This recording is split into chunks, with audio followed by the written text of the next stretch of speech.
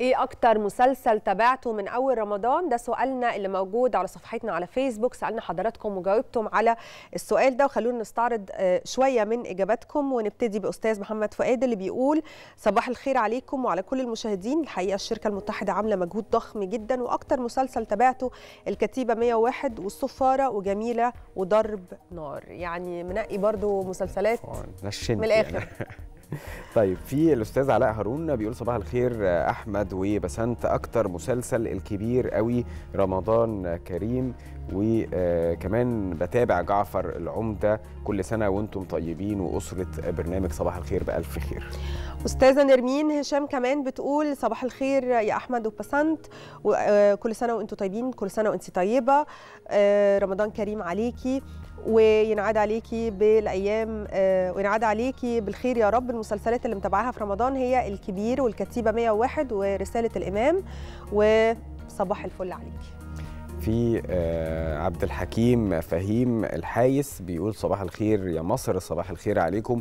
وكل سنة وأنتم طيبين رمضان آه، كريم جميل قوي مسلسلات رمضان. وأكتر مسلسل بحبه هو كتيبة 101 حاجة مشرفة وعظمة العظمة. يعني كمان أستاذة عبير آه، بتقول إن هي بتحب آه، تتابع البرامج يمكن أكتر من المسلسلات ويمكن برنامجها المفضل هو صباح الخير يا مصر. إحنا بنشكرك يا أستاذة عبير ويعني مبسوطين إن انت بتتابعينا. بص أنا متفق معاك يا أستاذ عبير يعني أنا برضو بحب البرنامج ده بصراحة يعني ومن أكتر الأعمال الحلوة في رمضان. حقيقي. نشهد لنفسنا بقى شوية. حقيقي. طيب في آه، علاء آه، عابدين بيقول أنا مش عارف أتابع إيه ولا إيه من كتر المسلسلات. رمضان كريم وكل عام وأنتم بخير. يعني نتمنى نكون اديناك كده يعني فكرة عن المسلسلات وعن إيه الحلو فيها وأنت بقى تشوف ال- اللي أنت حابه. لو حابب تشوف أكشن أو تاريخ أو كوميدي إحنا قلنا لك كبسولة كده تلخيص. في كمان أستاذة ميار بتقول بتصبح علينا بنصبح عليكي يا استاذه آه، ميار وكل سنة وانت طيبة. مسلسل كتيبة 101 طبعا. أنا عاجبني إن ناس كتيرة بتقول على المسلسل حلو أنا هتفرج عليه. خدتيها من على لساني لا مش. فكرة حلو. أنا عاجبني إن بقى في عندنا في الذوق العام في مصر فكرة إن يبقى عندنا مسلسل ديني والناس كلها بتجتمع عليه وبيقولوا إنه حلو وليه نسب مشاهدة عالية جدا وهو رسالة الإمام.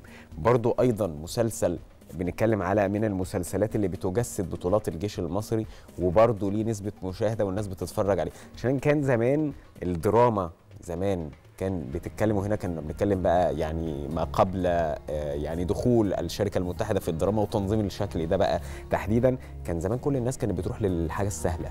مم. فكرة إن أنا أجيب واحد بلطجي هو ده الأسطورة اللي موجود اللي الناس كلها بتلتف حواليه وخلاص ويبقى هو ده المثل أو القيمة بتاعتك اللي بقت موجودة في المجتمع. لا النهارده أنت عندك ده وده والناس بتتفرج وبتتابع. يمكن ده بيأكد كمان ال- اللي إحنا يمكن كنا اتكلمنا فيه إنه في تنوع. النهارده قادرين نشوف آه، وجبة مختلفة وزي ما اتكلمنا إنه النهارده في ال ال التاريخي وفي الأكشن وفي الكوميدي وفي الوطني وفي وعي بقى عند المشاهد النهارده زي ما أنت قلت آه، بتشكلي. الصمد. بتشكلي بتعملي حالة تشكيل الوجدان حالة حقيقية مم. فكرة اللي أنا بدي لك حاجات من الواقع اللي بيحصل اللي إحنا عايشين فيه مش أنا مغيب على أرض الواقع أو لو في حاجة كانت دخيلة أو عارضة موجودة في وقت من الأوقات مش هي دي مصر ومش هم دول المصريين اللي طول حياتهم يعني معروفين بالجدعنة والقيم والمثل والمبادئ والعادات والتقاليد اللي دايما إحنا محافظين عليها وهنظل نحافظ عليها مهما حصل من متغيرات مم. خلينا برضو على نفس ال- السياق اللي إحنا بنقوله فيه رامي محمد بيقول التمثيليات قصتها بتكون طويلة وعاوزة نفس طويل ماليش فيها أما الأفلام فقصتها يعني بتتفض في قاعدة وخلاص أنا بيتهيأ لي آه، اختراع التمثيليات زي شهرزاد علقت شهريار ومش عارف إيه يعني مسلسل هو فيما معناه إن هو بيتكلم ما بس أنا عشان كده في بعض المسلسلات 10 هاتيها مني حلقات بس أنت. 15 حلقة عندنا يعني مسلسلين آه في المتحدة آه، ان لم يكن أكتر منهم مسلسل أعتقد أحمد السقا ده لسه. أيوة. هيتعرض. أيوة. ومسلسل دنيا سمير غانم مم. 15 حلقة وفيها نوع من أنواع الإيقاع السريع اللي بيتماشى مع المتغيرات اللي موجودة دلوقتي يعني مم. أستاذ طلبك كحلاوي. عندنا يعني أستاذ كحلاوي فتحي محمد بيقول آه بيصبح علينا من أسيوط صباح الفل عليك أحلى رمضان 2023 يا رب كل الأيام تبقى أحلى من بعض. مسلسل كتيبة 101 وقبل ما أروح الشغل لازم أشوف صباح الخير يا مصر أحلى برنامج. إحنا بنصبح عليك. ونتمنى لك يوم جميل النهارده في شغلك. ويعني رمضان السنة دي يبقى جميل كده زي ما أنت بتقول وكل يوم يبقى أحلى من اليوم اللي قبله. بص أنا في تعليق. هو ممكن تسمحي لي اللي هو يبقى آخر تعليق؟ اتفضل. لأن الأستاذ ميدو محمد ميدو محمد عارفة اسم يعني رباعي تقريبا حاطه يعني.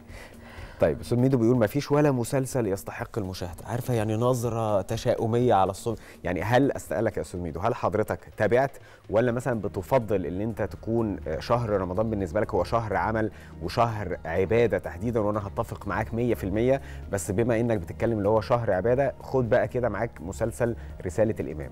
ملوش علاقة خالص بأي حاجة من أنواع الدراما قصة تاريخية ويمكن آه، طبعا الإمام الشافعي اللي كلنا بنعتز بيه بتعرف إيه قصته؟ خدوا جنب كده الأعمال الدينية اللي انت بتعملها. قول لنا يعني إيه السبب انك شايف كده. على كل حال ده سؤالنا اللي موجود على صفحتنا على فيسبوك ولسه مكملين معاكم يمكن استعراض إجاباتكم